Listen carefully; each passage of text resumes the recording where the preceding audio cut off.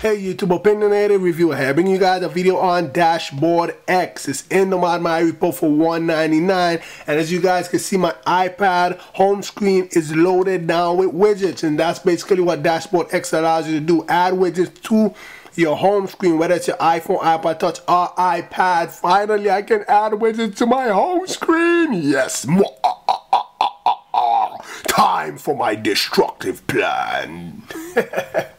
but yeah, guys, that's basically what it allows you to do. Not only can you add them to your home screen, but if I double tap my status bar, you guys can see it also has its own actual, well, a dashboard where you can put the, the um, widgets in here as well. So we're going to go ahead and run through the tweak. Now, not only are they on my lock screen, but I can actually interact with these widgets right here. You guys can see them just hit play on that. You know, I don't know what kind. That's island music. That's popcorn. You know, only man she want. You, you guys don't know nothing about that. You see, I have my SB settings widget right here. Uh, my this one was this widget is actually made for Dashboard X. That's a clock widget. Everything else is um, notification center widget. So I'm definitely looking forward to the future to see what developers come up with for Dashboard X. Here's my calendar widget. This is my note widget. I could actually go ahead and type inside that if I want to. And you guys know I love me some freaking Nyan Cat.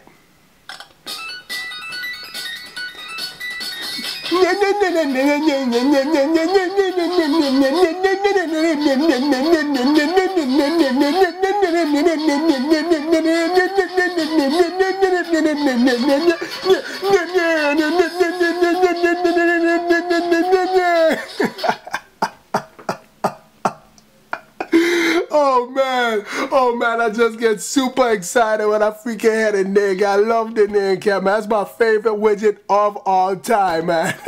but yeah, let's let me just go ahead and show you guys how you can add widgets. Now you have to be in wiggle mode. So you just go ahead and touch your icon, hold it down, and you're gonna touch the home screen and then the little the menu for all the widgets that you have installed on your device from Cydia are gonna pop up right here. So I'm just gonna go ahead and just add another Nyan Cat widget just for fun. The interaction widget, if I turn this off and I add it, I'm not gonna be able to interact with it. I can just move it around, so I'm just gonna touch the home button. If I touch it, you guys can see it, it I can't interact with the widget.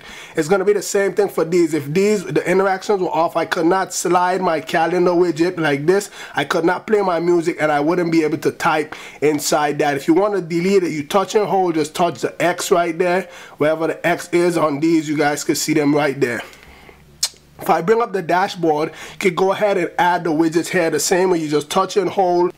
So you just touch and hold the widget until it starts wiggling. You could go ahead and rearrange it how you want to. It's the same thing. You touch and hold and it's gonna it should bring up the uh, menu and I could just add a widget that I could delete them as if I deleted on the home screen the same way. And then I could double tap to dismiss because I have it set like that or just press the home button so you guys can see that. Let's go into the settings app. You guys can see a bug actually there. Eh, whenever you use it sometime on the iPad at least the dashboard your status bar sticks. That's one of the bugs and it's super buggy. So hopefully some updates would bring some bring some um, bug fixes to this. But this is the first release so that's expected. So you go into settings and scroll down until you see dashboard X right here you can do a number of things in here. Up to the top where it says home screen these are all the widgets I have enabled on my home screen. So if you want to delete them you can also delete them from in here. Just come in swipe or just touch the edit button and then go ahead and delete them when the edit thing come up at the end like that.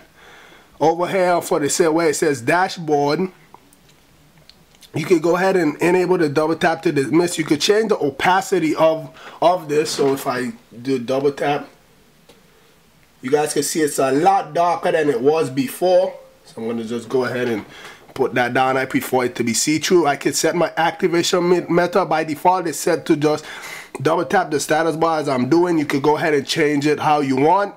Here you have the same widgets. So these are the widgets I have enabled inside my dashboard. I could just go ahead and delete them just like I did before. That's basically all the settings there for dashboard X. It's a super awesome tweak. It's just a bit buggy for right now. And it also works on your iPhone and iPad just like I said before. You guys can see on my iPhone I have my Nyan Cat the lovely Nyan Cat widget just running across my my um home screen. And I have my weather widget there. I can do the same thing. Just touch and hold let it go into wiggling could just move this around just let me just delete it I could touch and hold for the menu to come up and just add the widget and move it around like I would just as the same exact thing like how you do it on the iPad so I said it's called Dashboard X in the Mod My Repo for 199 it's a matter of preference if you want to get it or not Remember, it's a little bit buggy, so be prepared for a couple of bugs. With that being said, please rate, comment, subscribe. Have a nice day make sure you show that thumbs up button some love. And if you aren't subscribed, what are you waiting on? Hit the subscribe button above.